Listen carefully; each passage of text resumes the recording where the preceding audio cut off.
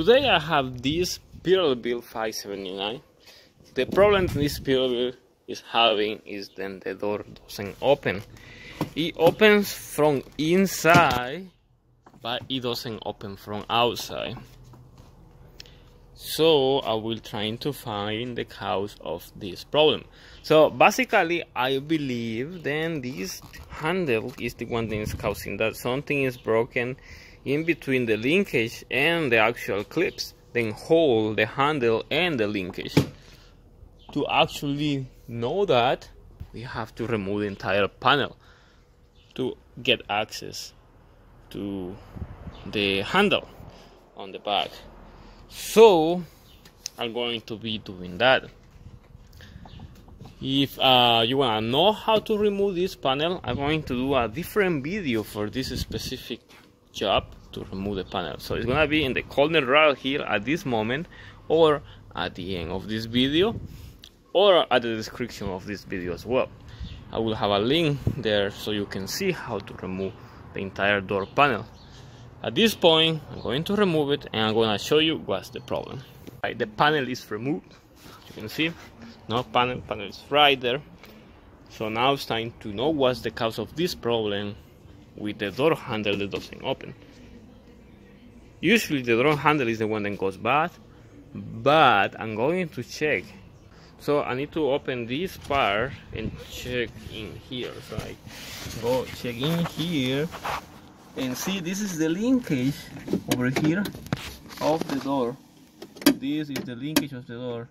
And that is the clip, the yellow part over there. So this one goes right here right there. So it is just out of placement. So all I have to do now is with this hand try to clip it back clamp it back. Okay. And it is back on place. That was the whole problem of this door. So that's the actual problem. So now you have to make sure then works so to do that I'm going to close the door I'm going to remove everything from here. To don't damage anything then can be a problem after the repair. So I'm gonna close the door and see the door opens now. See? That's the way it should be. So in this case it wasn't necessary to remove that. So if this happened to this truck, that means then this will be a problem for other trucks.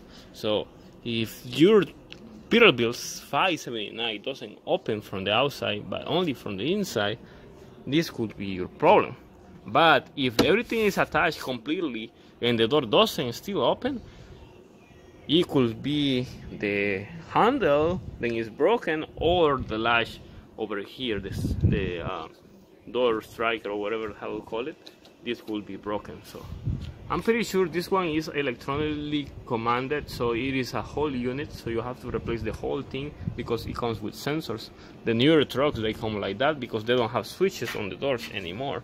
You can see there is no switch on the door because all the switches are, in, are integrated here in in the same latch like a smart latch so um, in this case this truck is fixed right now. I just want to make sure that that thing doesn't break again or doesn't open so I want to make sure that it's completely locked and secure.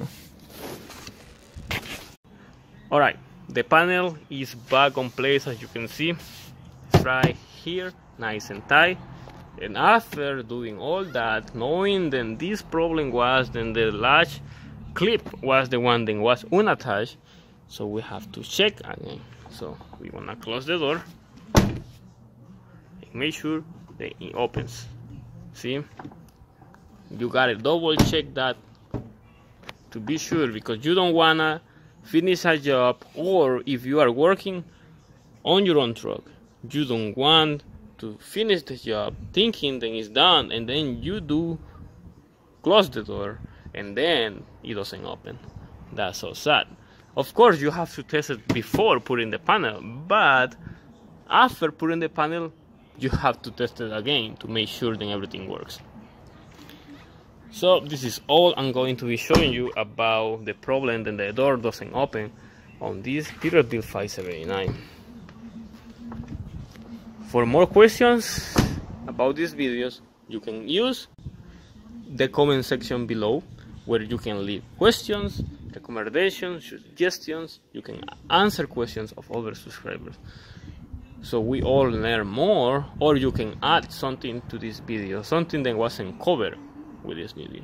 If you want to send some kind of support to um, my channel you can uh, use the description section below where I have details how to send support to my channel so I can continue making helper videos for all of you that want to know more so like share subscribe and thank you for watching. So Peterbilt remember that